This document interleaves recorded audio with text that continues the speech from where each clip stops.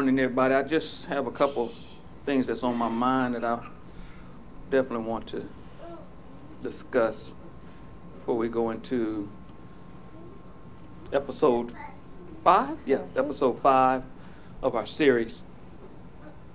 First thing is, uh, as you notice, we've made some some adjustments based upon the uh, recommendations by the CDC.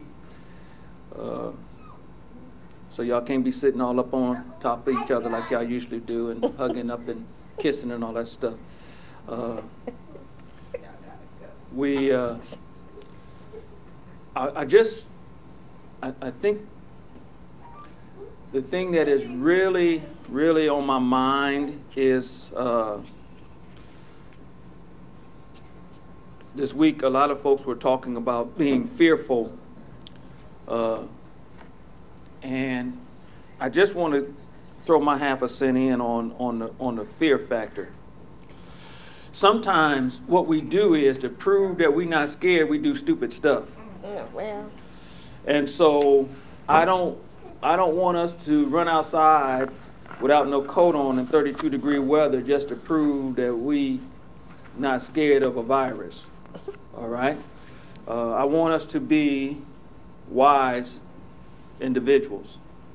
I want us, if we know that we have some type of respiratory condition, that we take the appropriate measures to protect ourselves from getting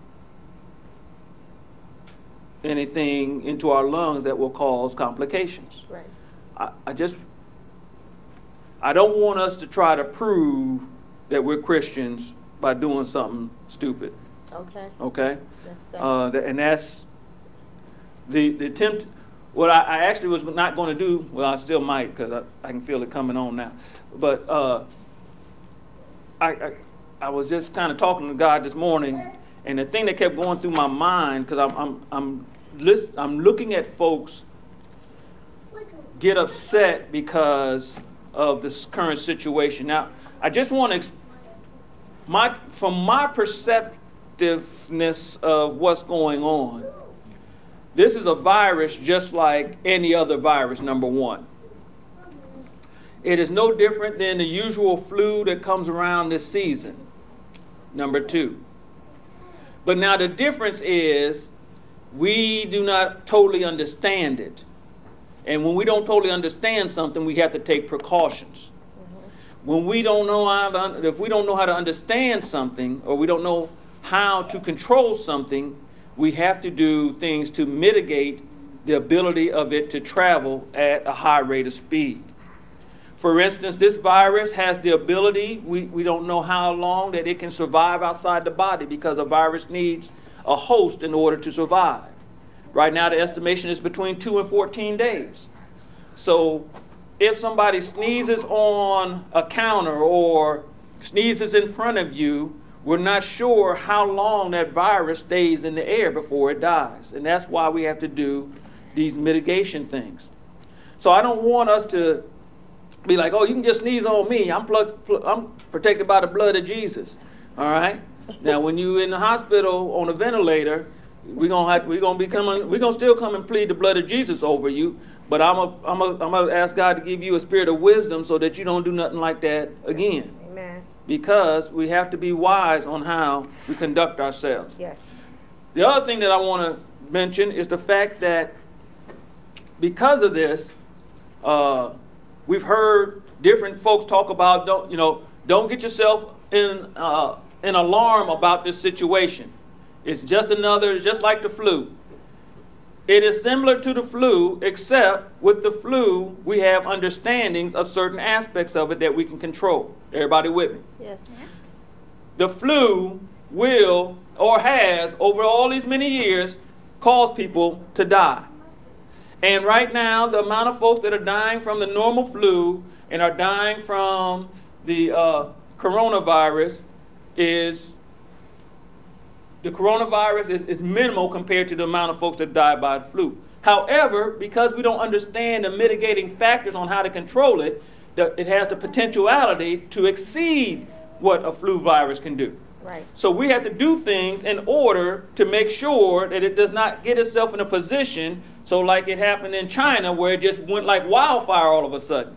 We have to do those type of things. Right.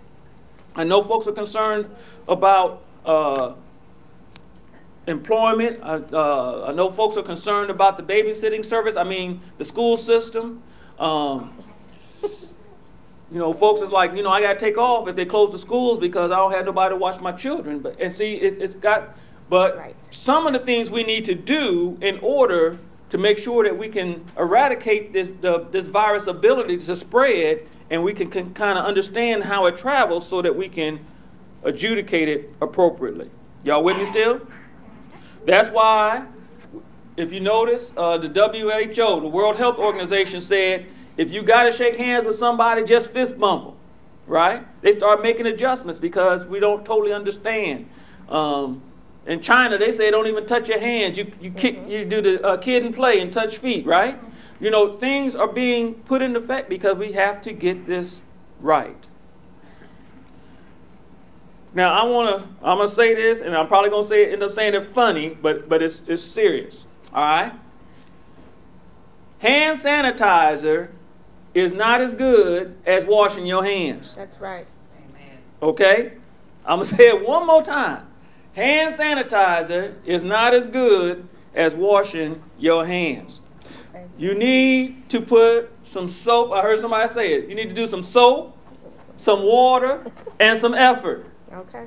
All right. They said that they want you to wash your hands for 20 minutes. Um, oh, Lord, not 20 minutes. For 20 seconds. All right. And don't do it on, listen, don't do it under no cold water. All right. Put it on some nice warm water. Wash your hands. Uh, Lady Yolanda is telling me that Dr. Oz says that you make sure you do every one of your fingers, your thumb, in between all that. Do all of it. Okay? Uh, somebody, just, somebody else just said, make sure you do all the way down to your wrist. Like you Now, don't be taking no bath in the bathroom now. That, that's not what I'm saying. I'm saying just your hands. Don't be getting all excited and then start trying to do up your arm. And I, I want us to be healthy, okay? And it, and it requires us to do certain things. We are blessed that we are, we are not over 250, so we are, we are actually uh, authorized by the CDC to have service. You know, um, a couple of couple of the uh, newsletters and, and, and churches that I subscribe to are larger than that, and some of them are doing online only. Some of them are doing uh, abbreviated services. Some, you know, they have to they have to make provisions because we don't under, totally understand this, and if, because we don't totally understand it, we got to take the provisions so we don't cause it to spread even more. All right, that's all we need now. Is you know, certain church got it, and because a certain church didn't listen to nothing the CDC said, now a whole state has it. Mm-hmm.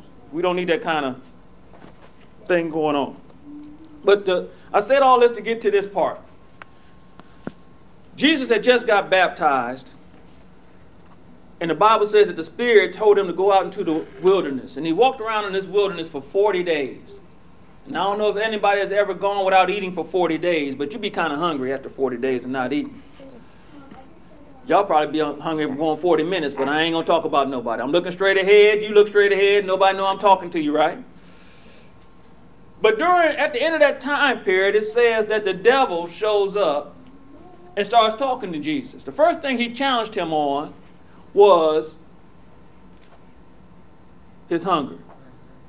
And he said, Why don't you turn these stones into bread? And Jesus said, I ain't doing it. I know I'm modifying it. I know, I know, I'm modifying it. He then takes him and he says, I tell you what, the Bible says that if you get cast down, that the angels will take you up lest you ca- uh, dash your foot against a stone. Psalms 91, which is everybody, everybody talking about Psalms 91 right now. I I think that's why it's kind of on my mind. And Jesus looked at him and said, You don't tempt God. And that's the thing that keeps going on my mind right now. If the Word of God says you don't tempt the Word of God by doing something that you know is not rational, then why would we try to tempt God and say, I ain't worried about no virus, because I got the blood of Jesus. Y'all not catching what I'm saying? Jesus, who is the Word of God, yes, he is. who said, who did not deny that the Bible says that Psalms 91 does say mm-hmm. that he will catch you lest you dash your foot against a stone, said, I'm not going to jump off of here because I'm not going to tempt God to validate his word, right. even though he knows God's word is true. Because he is the word. Somebody just trying to help me out and said he is the word. That is exactly right. So we don't get ourselves in situations and conditions that cause us to try to tempt God to prove to everybody else that God is real. All right. God don't need us to prove that he's real. We just need to live a life that reflects who he is. And if we live a life that reflects who he is, folks will know he's real. He's real. Okay? I guess I ain't going to do my message because I'm still on my soapbox. but I just want us to understand that this is a serious situation. Uh-huh. This situation is not just a health situation, it's an economic situation because it's causing situations where folks are now um, not working. Uh-huh. Uh, those that those of us that, that like to challenge folks financially about who's going to win a football game or a basketball game, uh, we have no opportunity to get that little extra money that we try that we usually get about this time of year during uh, what is it called? March Madness. March Madness.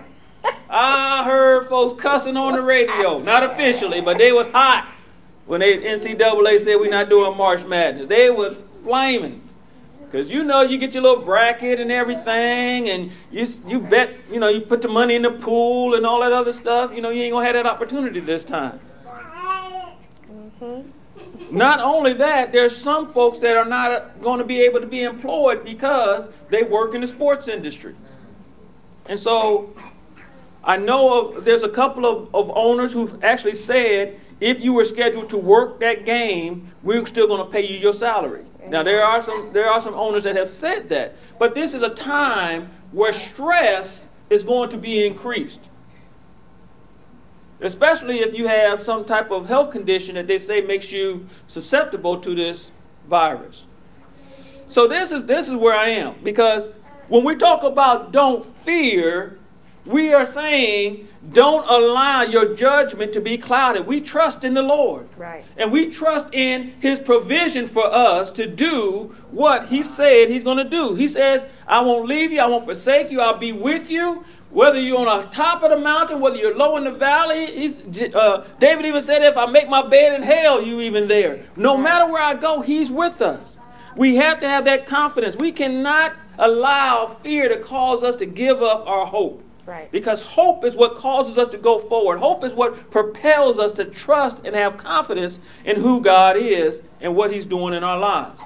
So we're not going to tempt the word and say, I'm going to prove that I'm saved and I'm going to go to wherever they say the coronavirus is and go hang out just to prove that God's going to keep me from catching the coronavirus. We don't play that nonsense. That is nonsense. We trust that God is going to keep us, God's going to uh, maintain our level of health, but there's some things that we have to do to this body to ensure that it's healthy. Number one thing that we need to see, I don't got on my health kick now. Number one thing that we need to do to, to, to keep our body healthy is get us some sleep. Okay. Sleep is the most important thing. Now, some of us need 10 hours of sleep. Some of us need six hours of sleep.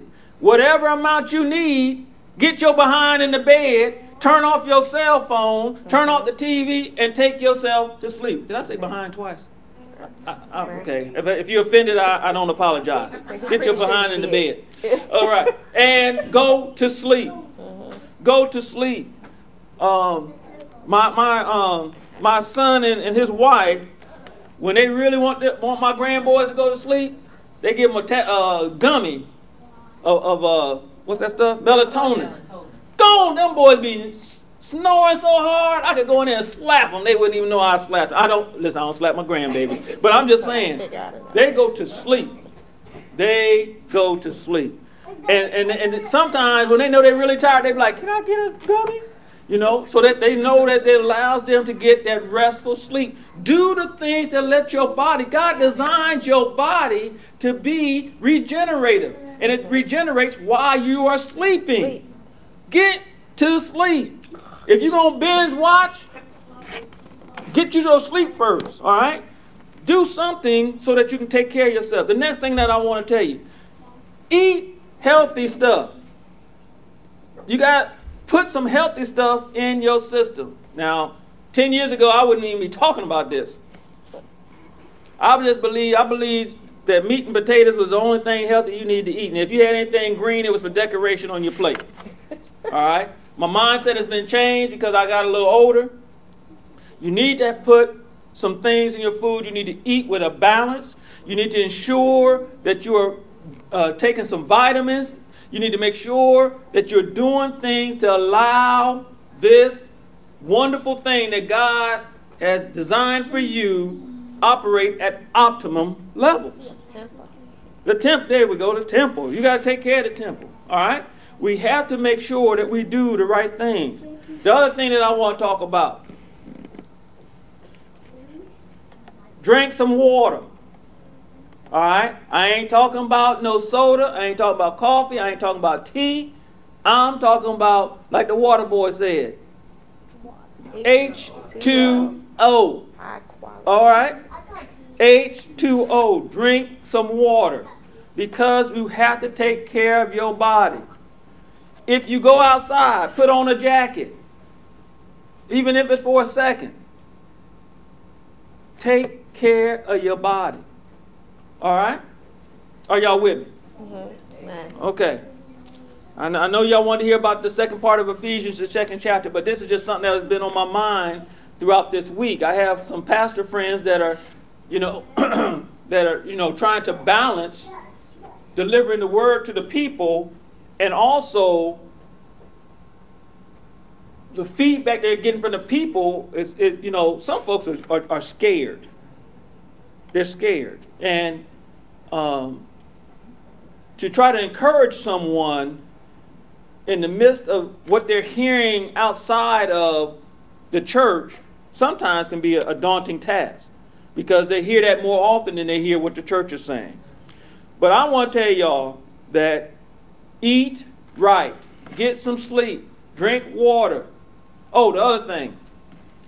Make sure that when you're eating, that you make sure that you're eating a carbohydrate, make sure that you have a protein, make sure that you're eating a balanced meal. Because anytime you start doing things out of balance, your body starts compensating and causing complications. So if we just make sure that everything that we eat, everything that we put in here has a balance to it, then we should be okay. My first priority, because it's still running through my mind, get you some sleep. All right? I remember when I was coming up, they said you just sleep when you're dead. And we Mm. be up and four o'clock, we gonna lay down. I'm gonna lay down for 30 minutes, cause and then I'm gonna go on to go on to work. and and would do would go do PT and run and all that other stuff, and then stay for another 15, 16 hours on three hours of sleep. That's why we got sleep apnea now. Body don't even know how to rest. So we got to do the things that will take care, help us to take care of our bodies, so that we can be the examples that God is calling for us to be. The thing that just ran through my mind, I think I'm gonna stop after this. The thing that just ran through my mind is the children of Israel, because they have been acting up, God sends in correction. He sends in the correction, and what uh, Nebuchadnezzar would do is he would take all the smart people from that country and take them back to Babylon. And when he would take them back to Babylon, because he was trying to get everybody acculturated, he was trying to cause folks to feel like they were a part of the empire. And so he took all the young men, all the smart young men, and, and he took them and he put them through this process whereby they would work on his staff. And it talks about how they found this young man by the name of Daniel and his three friends. And Daniel was like, Well, I don't want to violate what the Lord has said, so can I only eat what the Lord has said for us to eat? And the guy that was in charge of them said, Man, you're trying to get me in trouble. The king says you guys need to eat this. He said, Well, let's just do it for a week. And if we are, you know, if we're okay, if we can still perform, can, can we have this, this food? And it says, after those seven days, that the continence of Daniel and, and the three young men was better than everyone else. Because God designed us. If we eat the way God tells us to eat, eat balanced, and we get rest, our body will perform. Mm-hmm. And so let's do it, okay? Let's do the right things. I know they're talking about, you know, uh, they're gonna have to might have to close schools, and they and they might, you know, folks is mad at mad at our governor because he said we only gonna close the schools in the in the counties where somebody has come up positive for the coronavirus. So now parents is going off on the governor. You just should close all the schools. But see, you're not thinking about the parent, the single mother who has to work and don't have no babysitter. And like I said, the school is her babysitter. You know what I'm saying? And I don't mean that in a bad way. I mean that's just a reality. And now you you saying the kids have to stay home, and now she can't work, and she don't have enough PTO in order in order to take care of her kids and provide for them. So now you don't put her in a precarious situation. She's gonna make her kids latchkey. One of them gonna go try to cook something on the stove, catch the house on fire. And then you're gonna be mad because this single mother house who done burnt down, and now Red Cross asking you to go ahead and and uh, provide some type of help. And now you're like, well, why why should leave the kids by themselves? You see what I'm saying? Let's be wise in how we do this. Let's be helpers of one another. We see someone that needs help. Also, let's provide them with help. Let's eat right. Let's take care of ourselves. Let's take care of ourselves. I was laughing because I was just like, this is this is really one way for us to get people to, to wash their hands. I said, I'm just, I'm just, I'm just so devastated that we had to go to this extreme. We got to get a virus that, that is so deadly, and only in the way that you keep yourself from getting the virus is to wash your hands. I wash my hands now like three times, four times a day now. I, every time I think about it, I just go in and. and then after I wash them, you're allowed to tell you because we got this nice smelling sanitizer at the house. I go put that little. It's not. It's not blood orange, right? Yes. Okay. What was I saying it was? Burnt. Burnt orange. I was saying burnt orange because I, I like citrus, so I, I, go in there after I wash my hands and I put that hand sanitizer on there because it just smells good. But anyway, my, my point is Do that. that's what you need to do. That's what you need to do. Wash your hands. Take care of yourself. Eat right. The biggest thing is get some rest so your body can rebuild itself so that you can be well. All right, I know this wasn't a traditional message, but it's just something that was on my heart, my mind, because, uh, and I am going to post this, uh, because I just think it's something that just needs to be said.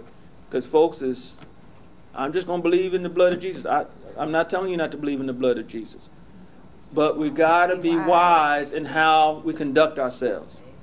All right, I'm, I'm going to hug everybody because I'm trusting in the Lord. Okay, trust in the Lord all day. And, and when we come to your funeral, we'll, we'll say he trusted in the Lord. All right? Okay? Uh, and I'm listen. I'm not cursing nobody. I don't. I don't want any of that stuff on on the on the um, YouTube site. I'm just saying, be wise in our conduct. All right? Because folks are watching how you that say you are a Christian, how you conducting yourself, and because they're watching how you conduct yourself, conduct yourself accordingly. There's nothing that the CDC nor the World Health Organization said that is a violation of Christian ethics. Amen. Amen. They said, wash your hands, and for right now, don't sneeze on nobody, which is something you should never do. Right. If you sneeze or cough, cough into your elbow. Right. I was like, that's what they used to tell us. Oh, okay. All right. So, If for those sick, of y'all that wasn't paying don't go to attention, do this. What if you didn't have if you didn't have a na- uh, napkin, not a napkin, a handkerchief or something to sneeze and cough into? They always told you do it like this. All right. And I'm I'm not talking about dabbing or dapping. What is it called? Yeah. Dab. that- Dabbing. Okay. See, I, I showed my generation right then, didn't I? If All you're right. sick, stay home. And if you're sick, stay home. And um, okay, somebody just said don't send your sick kids to school because listen, okay, I just kicked something else in my mind. The flu virus is still out there, y'all. So don't don't just get so focused on uh, the, the corona situation that you don't remember that the flu is still out there. That no one said don't stop taking your flu shots if you hadn't taken them for this season. We still got, but they're trying to think of a, of a, uh vaccine. They're trying to come up with. Got, uh, one of the doctors' things I read said he figures that it'll take another year to 18 months to even come up with the proper vaccine to cover it. So we got to do the right things. We got to take care of ourselves. We got to take care of one another. So if you notice when you walked in, you didn't get your usual hug. You got a hello, and if you got offended, uh, I'm not apologizing. They said don't hug nobody right now because we don't want to transmit this. Okay? All right. Somebody said thank you Jesus for no hugs. And I be know some. mindful of other people. And be mindful of other people. I was standing next to this man. That joker sneezed. And he just put it all out there. And I oh. said, Lord. I said, let me walk on over here. I said, because I was getting ready to turn into Timothy real quick. Not Pastor Tim. Not Pastor Tim. No, wouldn't have been no Pastor. I said, yeah. Yeah, y'all just saw. Local pastor slaps man in the Walmart. No. So uh, just take care of yourself and watch watch your environments. Okay? Amen. All right. So um, with that being said, we're going to go ahead and bless y'all. We're going to call it a day. And uh, I just, I know this wasn't a traditional message, like I said, but I think it's something that needs to be addressed because we need to be. Uh, we need. We, how do I want to say this?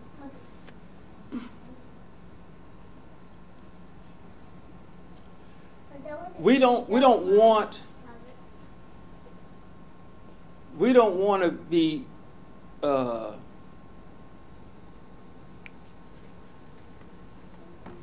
trying to say this in a way that I know how I want to say it, but it, it's not. It's not appropriate to say it that way. There are some. There are some things that we need to do so that we can be an example to everyone else on how to do things. And not taking away from our ability or our confidence in that God can do what He says He's going to do, that God has already done, that healing is a, around us. But my mindset is I'd rather not get sick than have to believe God for healing. Mm-hmm. Okay? Mm-hmm. I think that's the best way for me to say it. I'd rather just not get sick than have to than have to trust God for healing. I, I don't know how many other folks think like that, but that's what I try to do the things. Like when I start getting a cold, I start taking some zinc and some other stuff to you know to help the cold not to hurry up and get out of my system because it's going it's, it's going to get into your system. So that, that's my thing. I, I'm not going to lie. I'm not going to go outside and just get a cold just so I can say God heal me. I want to do the things to so that I don't even have to say that kind of thing. All right? Okay. Amen. All right. Thank you, lovely.